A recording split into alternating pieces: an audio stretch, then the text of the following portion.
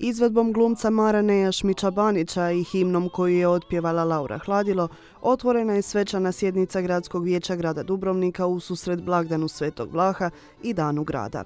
Ovogodišnja sjednica skromnija, manjeg opsega sukladno epidemiološkim mjerama. Neraskidiva je veza našeg grada i Svetog Vlaha kojeg ove godine častimo po 1049. put. O toj vezi dovoljno govori izreka da drugi gradovi imaju svoga sveca zaštitnika, a Sveti Vlaho ima svoj grad.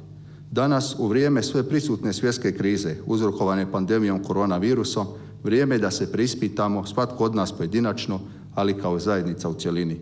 Jer kriza je izgovor za slabe i neuspješne, a izazov za sposobne i odvažne. Danas se nad vrata grada nadvila neka nova prijetnja. Stoji tu pred nama nimalo prijetvorna, nego konačno potpuno razotkrivena.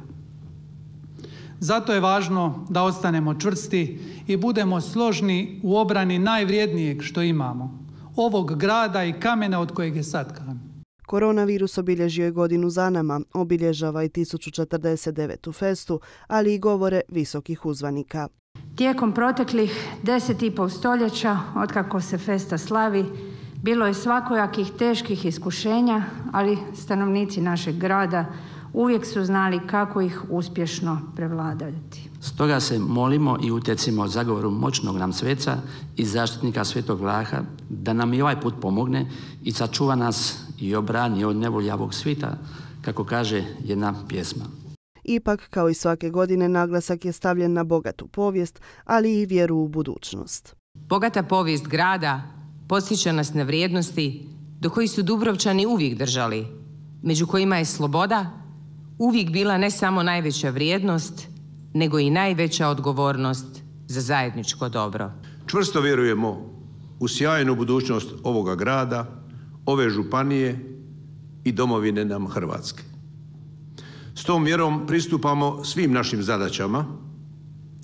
U tome pouzdajemo se imamo potporu našega nebeskog zaštitnika Svetoga Vlaha. Vrhunac svečane sjednice svakako je dodjela nagrada laureatima. Odlukom Gradskog vijeća godišnje nagrade za 2020. dodijeljene su Maji Nodari, Frapiju Pejiću i družbi sestara Franjevki od bezgrešnog začeća, to jest časnim sestrama Zdanača. Dobitnik nagrade za životno djelo je bivši dubrovački gradonačelnik i prvi upravitelj zaklade Blaga djela Nikola Čiča Obuljen. Čast je, ali i poslanje svake osobe služiti svome gradu i svojoj zajednici onoliko i na onaj način na koji nam to dozvole okolnosti životne, obiteljske i svake druge. A ogromna je sreća i ponos kad to vaše zalaganje zajednica prepozna i odluči nagraditi. Sam blagdan Svetog Vlaha sutra će biti proslavljeni tradicionalnom procesijom i svetom misom. Ove godine uz ograničen broj sudionika.